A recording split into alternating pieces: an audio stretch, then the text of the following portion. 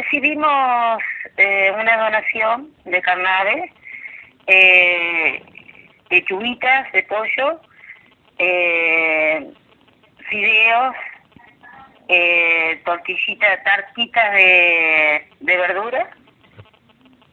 Eh, bueno, es eso. Bien variada, digamos. Le agradecemos un montón. Es un bastante variado lo que han recibido. Sí, sí, sí. sí. ¿Cuántos nono tienen eh, en la institución? Once. 11 abuelos. Y bueno, eh, sabemos que esta pandemia, esta, este aislamiento ha hecho que, que se cambien eh, muchas formas de trabajar y en este caso precisamente eh, las visitas también están eh, no, están no están permitidas. Entonces quería preguntarle además cómo están llevando la situación, no solo económicamente, como vemos hay instituciones que ayudan un montón, en este caso Carnave, pero también cómo están llevando la situación eh, con, con los abuelos, teniendo en cuenta que no están pudiendo ver a sus familiares. Bueno, eh, con los abuelos ahora se están adaptando a lo que es esto. Eh, están adentro o si no en el patiecito del fondo, en el pasillo que tenemos. Eh, es entendible porque ellos estaban acostumbrados en la vereda, pero no pueden salir. Eh, cerramos el portón. Eh, sí, están cansados como como todo, ¿no? Exactamente. Dentro de todo está todo bien. Exactamente.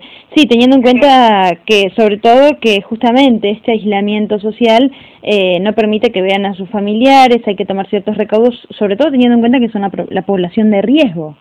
Claro. La población es vulnerable. Los familiares hablan por teléfono con ellos, eh, traen los medicamentos, pero no los ven. Eh, y quieren hablar con ellos, llaman, nosotros los traemos y ellos hablan con la familia. Exactamente. Rosa, quería preguntarle eh, respecto al tema de la donación, ¿para cuántos días aproximadamente eh, alcanza esta, esta donación que, que realizó Carnave y económicamente también se están obviamente sustentando con la cuota que continúan pagando los familiares de los abuelos? Claro. Eh, y lo que trajo Carnave ayer, y por lo menos para dos o tres meses Ah, es, es una cantidad. Una donación no poquito, grande. Es una donación que realmente eh, ayuda a paliar esta situación. Estamos hablando de, de dos a tres meses de comida, lo cual es un dato no menor porque es, eh, bueno, un gran gesto solidario, ¿no? Sí, sí, sí, sí. Estamos muy agradecidos.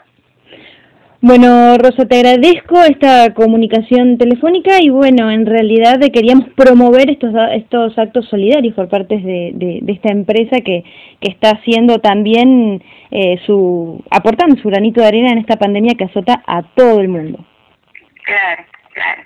Muchísimas gracias. Eh, estamos muy conformes con ustedes también, que lo hayan hecho una nota, eh, pero los no están bien.